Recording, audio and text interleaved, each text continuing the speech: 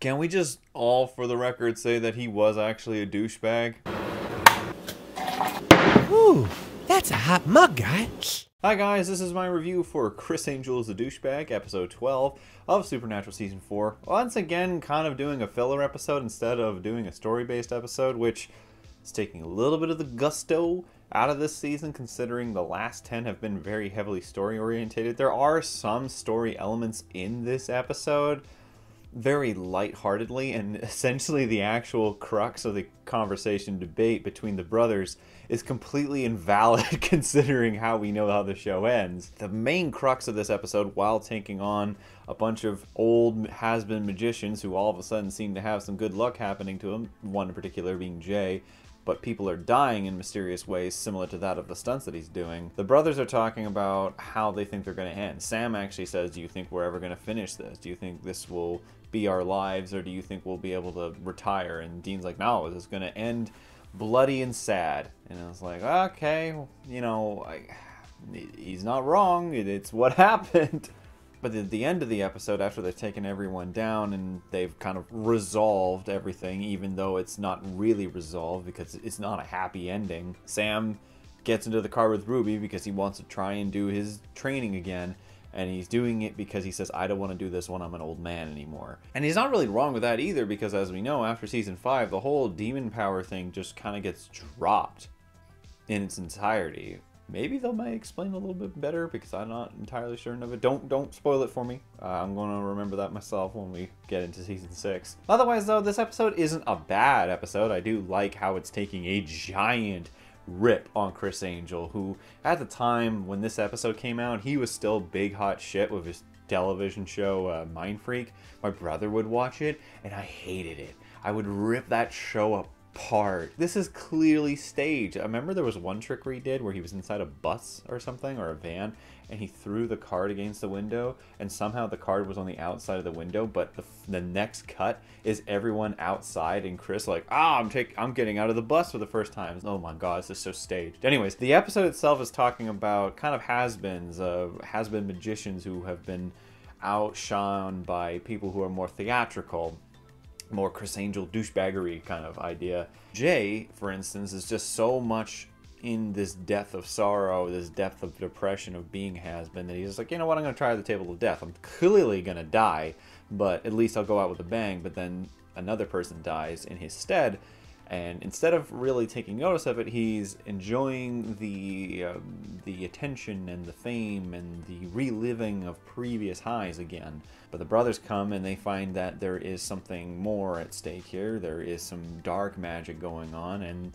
eventually they take down who they think is the magician, which is like a little bit of a twist and tell. And the episode ends with Jay just being kind of depressed. Like, I gave up my own friend. I've lost my other friend. I am all alone now because I did the right thing. And I like that part. That's probably one of the best parts of the episode because it ends on an incredibly negative note. But otherwise, this is kind of just a standard episode. It's got some funny bits in it, but really it's it's a whatever. So in the end, I will be giving Criss Angel is a douchebag a 4 out of 7.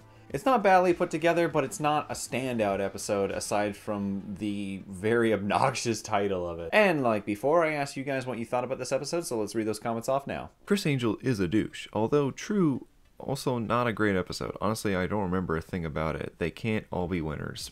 Bring on the later episodes of this season. The Magician Criss Angel uh, episode proves Andrew Dabb was a genius.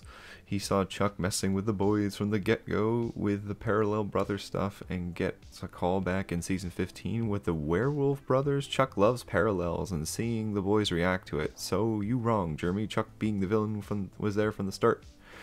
Andrew for Writer of the Year. In all seriousness, I like this episode because it shows how easily magic was accessible to people, which makes it all the more jarring that supernatural is remained hidden. I like the parallels between the boys and the other type of bond, foreshadowing perhaps what Dean was told to do to Sam by his father. But beyond that, I found this episode okay, not too exciting or eventful. 3 out of 7. Yeah, uh, the magician's relationship is definitely kind of a parallel, especially the fact that they all disband as friends afterwards. It's It's kind of foreboding. Oh, I'm tired. I hope you enjoy this episode more than the last episode. Old age is a crucial theme in this episode. The Curious Case of Dean Winchester, Season 5, and Into the Mystic, Season 11. Out of the three, I think The Curious Case of Dean Winchester is the best. For some inexplicable reason, the villain in this episode makes me uh, remember Andre Toulon of the Puppet Master movies. I've never seen them, but yeah, I do actually really do like The Curious Case of Dean Winchester. I'm looking forward to that one. This episode really hits hard when Dean compares fighting evil to the creature Hydra and hopes to die when he's young and not too old. It's honestly one of my defenses why Dean needed to die in the series finale uh, on an ordinary hunt.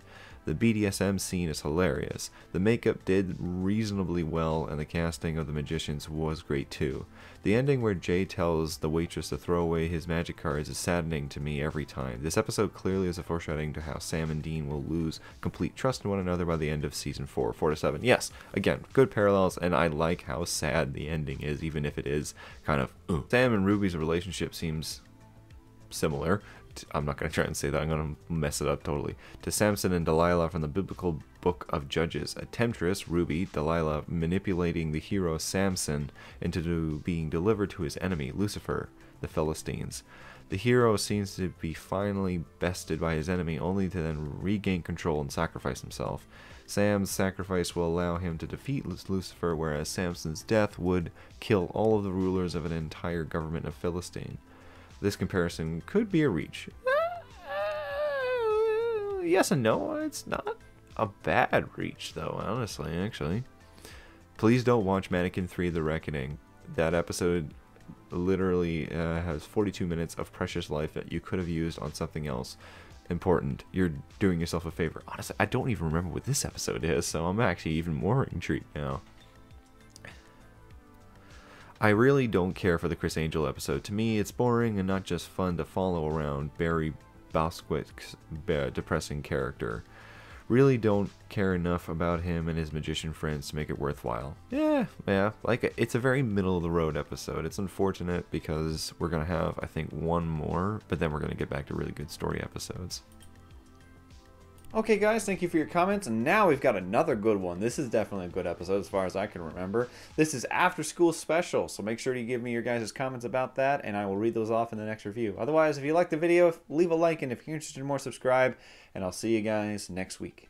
Thanks for watching the video. My name is Nitz, and you might remember me from the animated cult classic TV show Undergrads. It's been a while, but I'm happy to say the Clique is finally getting back together in an all new movie, thanks to a successful Kickstarter campaign. But we are still asking for your support. To see any and all updates about the upcoming Undergrads movie, be sure to check out and like the Bring Back Undergrads Facebook page. And with any luck, we'll see you guys soon.